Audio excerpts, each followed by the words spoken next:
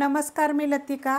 आज मी तुम्हाला कळीची लाडू बनवून दाखवणार आहे. त्यासाठी बघा अर्धा किलो बेसन पीठ घेतलेलं आहे आणि ही डाळ आणून चक्कीमधनं दळून आणलेलं आहे. कधी पण बारीक दळून आणायचं तर एकदम बारीक दळून आणलेलं आहे आणि ही डाळीवरच दळलेलं आहे. तर त्याच्यामध्ये थोडंसं बघा मीठ टाकायचं एकदम थोडंसं.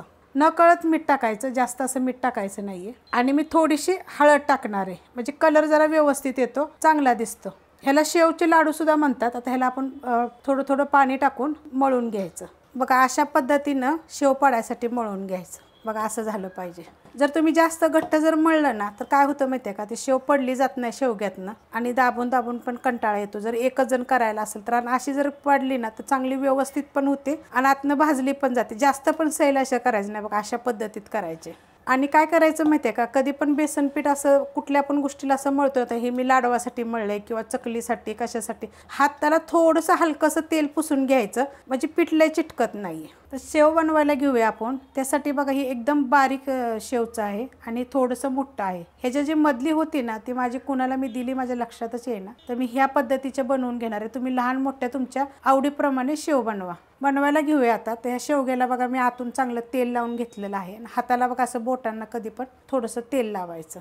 म्हणजे हे जे पीठ घेतो ना आपण ते आपण ह्याच्यामध्ये व्यवस्थित बसता येतं शेवगा बघा मी भरून घेतलेला आहे आणि दाबून पीठ भरायचं. आता आपण हे बंद करून घेऊया. तेल गरम करत ठेवलेलं आहे. त्याच्यामध्ये बघा थोडंसं आपण पीठ टाकून घेऊया आणि बघायचं तेल किती तापलं ते.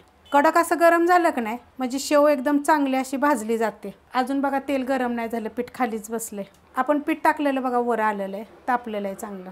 त्यात हे काढून घेऊया. तर शेव आपण टाकून घेऊया. बघा मस्त असे होते बघा.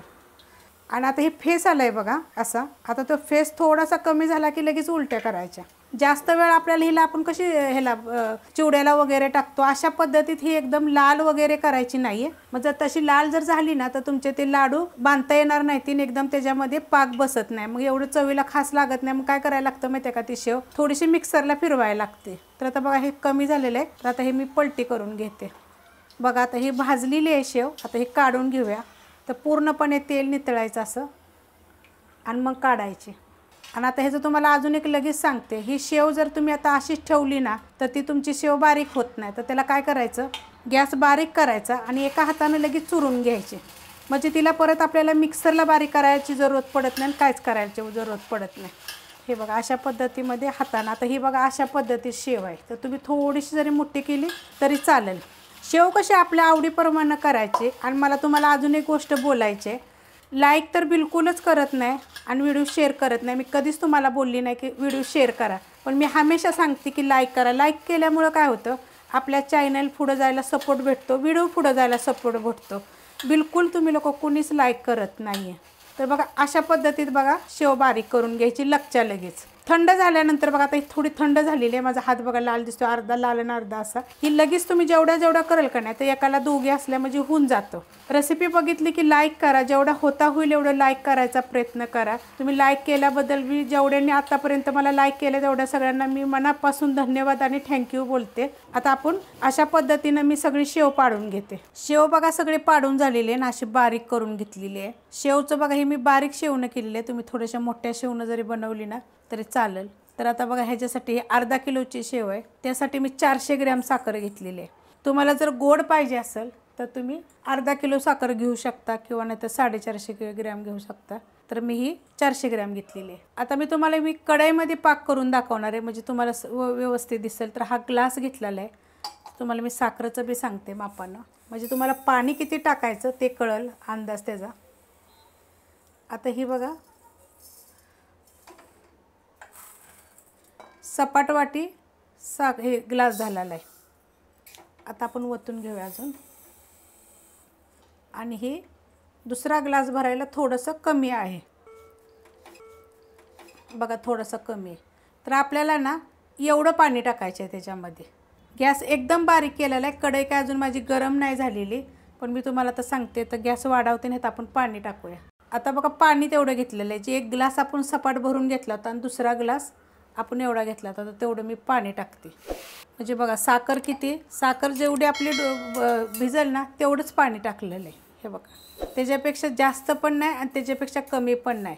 जे आपली चारशे ग्रॅम साखर आहे ना तेवढी ही भिजलेली आहे. त्याच्यावर बघा पाणी एवढं आलेलं आता गॅस मी मिडियम करते. तुम्हाला ही दाखवायसाठी केलेली आहे. तुम्ही ह्यात अर्धा किलो टाकली तरी चालेल. साडेचारशे ग्रॅम टाकली तरी चालेल. आता ह्याचा आपल्याला एक तारी पाक करून घ्यायचे आहे साखर बघा वितळलेली आहे. तर ह्याच्यामध्ये मी एक चमच्याभर दूध टाकणार आहे. दूध कशात टाकायची? की ह्याची जी घाण आहे ना ती मळी सगळी निघून जाईल आणि एकदम पांढरं शिबर आपला तो पाक बनेल. तर बघा ही कशी मळी यायला लागलेली आहे. तर गॅस मी जरा बारीक करते आणि ही चांगली मळी येऊन देते म्हणजे आपल्याला हे काढता येईल. बघा आता ही अशी साईडला मळी राहते का हे काढून टाकायची. म्हणजे एकदम साफ सुथरा असा पांढरा शुभ्र असा आपला पाक होईल. बघा सगळी मळी काढलेली आहे आणि किती पांढरा शुभ्र असा झालेला आहे. तर आता आपल्याला ही गॅस मी वाढवला आहे मिडियम केला आहे ती मळी काढायसाठी मी गॅस बारीक केला होता.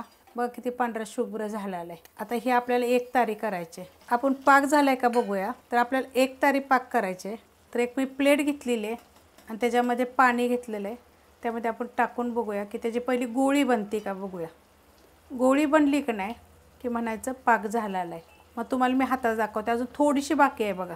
दोन मिनटं बघा मी अजून ठेवलं होतं. तर झालं आहे का बघूया. तर पाक बघा असा पण झालेला कळतो. बघा एक सारखा लास्टचा ठेम एकसारखा आला पाहिजे. तर अजून थोडासा बाकी आहे बघा. तरी पण मी तुम्हाला प्लेटमध्ये दाखवते. हे बघा. पाक झाला गोळी बनते बघितले का? ही अशी गोळी आपल्या हाताबरोबर येते बघा का गोळी आली हाताबरोबर ते. तर हा आपला पाग झालेला आहे. आपण गॅस बंद करूया कारण जर ठेवला ना तर पुढे जातो. वाडगं घेतलेलं आहे. त्याच्यामध्ये ही आपण जी शेव होती ना ते टाकून घेऊया. बघा किती मस्त अशी शेव झालेली आहे. त्याच्यामध्ये आपल्याला ही मी साखरेमध्ये वेलची जायफळ फूट कुटून घेतलेली आहे. बदाम काजू बदाम काजू काय केलेत? मी गरम केले ती नंतर खिसले ते. आणि ह्याच्यामध्ये मनुके. तुम्हाला जर वर्ण लावायचे असले तरी लावले तरी चालतात आणि असे टाकले तरी चालतील. आता ह्यात तुम्हाला अजून एक मी गोष्ट सांगते. पाक आपला काय करायचा माहिती आहे का? हा पाक मी ओतून घेते त्याच्यावर. गरम असतो वत्ताना जरा लक्ष देऊन करा. हा बघा किती मस्त असा पाक झालेला आहे पांढरा शुभ्र. तर एवढा पाक मी ठेवलेला आहे पहिला आपण हे हलवून घ्यायचा चांगला. गॅस बंद केलेला आहे गॅस बंद करायचा नाही तर त्याची साखर बनेल तुम्ही जर वेळ ठेवला का नाही तर साखर बनेल. बराबर हे सगळं आता कसं गरमच हा लाडू बांधायचा असतो त्यामुळे हा पहिला पाकातलं सगळं हलवून घ्यायचं. आणि कधी पण काय करायचं थोडासा पाक ना जास्त ठेवायचा. एकदम थोडासा मी ठेवलेला नाही आहे तुम्हाला तेवढा दाखवला तेवढाच पाक नाही थोडा जास्त ठेवला का नाही मग जर आपल्या लाडवाला जर पाक कमी पडला तर आपण वरनं तो टाकू शकतो. बघा हा मिक्स करून घेतलेला आहे. तेवढ्यासाठी मी तुम्हाला वजनाचं बी प्रमाण सांगितलेलं आहे आणि किलोचं बी बरोबर प्रमाण सांगितलेलं आहे. त्यासाठी अर्धा किलोचे दाखवलेले आहेत. बघा आता हे सगळं मिक्स व्यवस्थित झालेलं आहे. कारण ह्या शेवमध्ये ना आपली जी पाक आहे ना तो मुरला पाहिजे. म्हणजे लाडू एक नंबर लागतो. आता ह्याच्यामध्ये मी दोन चमचे तूप टाकणार आहे बघा. देशी गाईचं तूप आहे. दोन ते तीन चमचे जरी टाकलं तरी चालेल. म्हणजे लाडूनच चवीला छान लागतो. तुम्ही करून बघा. मी ह्याच्या अगोदर पण मी लाडू दाखवलेला आहे आता हे पण मी मिक्स करून घेते तूप टाकल्यानंतर म्हणजे सगळीकडे होईल. त्या टायमाला कसं मोबाईलनं काढलं होतं व्हिडिओ त्यामुळे ती व्यवस्थित दिसत नाहीत. मग मी परत एकदा तुम्हाला दाखवते. सेम प्रमाण केलं की नाही की चांगल्या बनतात. आता ह्याच्यात मी राहिलेला पाक आपला टाकून घेऊया. पूर्ण सगळा बघा टाकून घेतलेला आहे. पाकामध्ये गरम गरम हात घालू नका. म्हणजे असं देहनानं जर एखादा ठेंब बिंब पडला तर फोड वगैरे येईल लक्ष देऊन करा. आता भरभर हलवून घेऊया आपण. सगळीकडे बघा पाक मिक्स करून घेतला. आता बांधायला घेऊया आणि हे लाडू गरम बांधायचे आहेत. गार बिलकुल बांधायचे नाही. गार झाले की तुम्हाला बांधता येणार नाही आहेत तर हे लाडू कधी पण गरम गरम लाडू बांधायचे आणि दुसरी गोष्ट जर हे तुमचा जर गार झाला जर तुम्ही हे जर लाडवाचं जर आपण केलेलं जर गार झालं तर थोडंसं काय करायचं? त्याच टोपामध्ये किंवा कढईमध्ये परत गरम करायचं.